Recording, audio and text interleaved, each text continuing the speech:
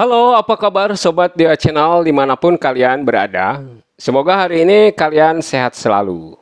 Pada video tutorial kali ini, Dia Channel akan menjelaskan terkait perihal langkah-langkah bagaimana cara memblok program melalui PyTour PyWell di Windows 7.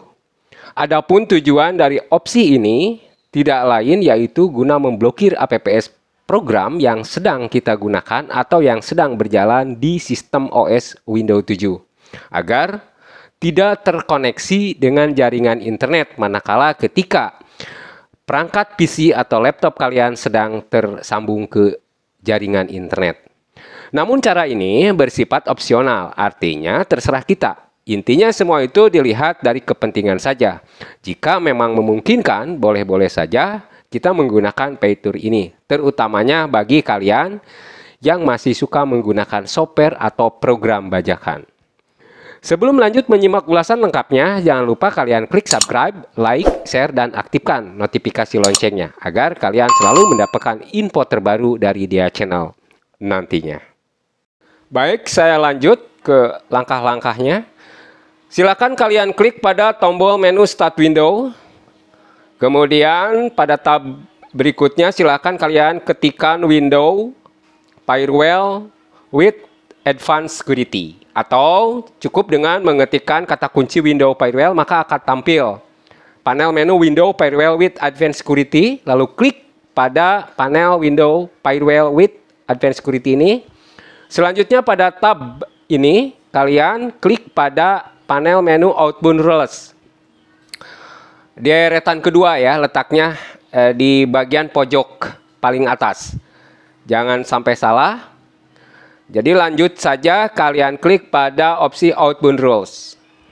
Setelah itu akan tampil pada halaman berikutnya. Di sini semua terlihat allow, artinya tidak ada program yang diblokir. Dan di sini kalian klik new rule, new rules, dan kemudian pada tab berikutnya silahkan kalian klik pada program.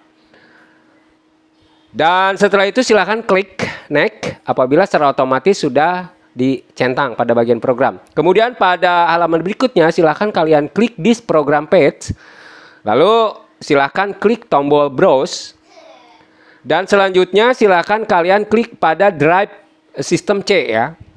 Partisi C. Karena semua sistem yang terinstall itu berada di sistem C.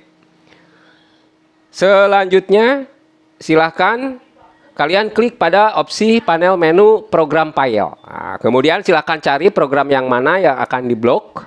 Di sini contohnya saya akan memblok Wondershare Mora. Jadi klik saja folder tersebut untuk membuka, lalu gulir ke bawah, lalu cari aplikasi yang ekstensinya exe ya daripada program yang akan uh, kita blok melalui firewall tersebut.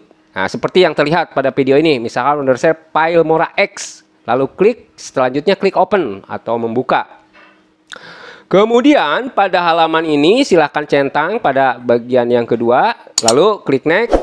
Dan kemudian pada bagian ini centang pada block the connection. Selanjutnya kalian uh, klik next. Dan setelah itu jangan lupa untuk menceklis semua kotak box. Di sini ada tiga domain, private dan public. Nah, selanjutnya klik next ya.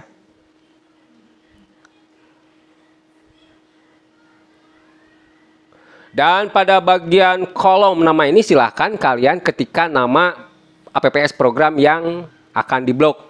Ya, seperti di sini saya contohnya yaitu tadi Mora ya. Jadi uh, bebas dalam hal ini silahkan terserah kalian. Di sini contoh saja saya yaitu blokir Mora ya. Jika sudah selesai, langsung saja kalian klik uh, tombol finish.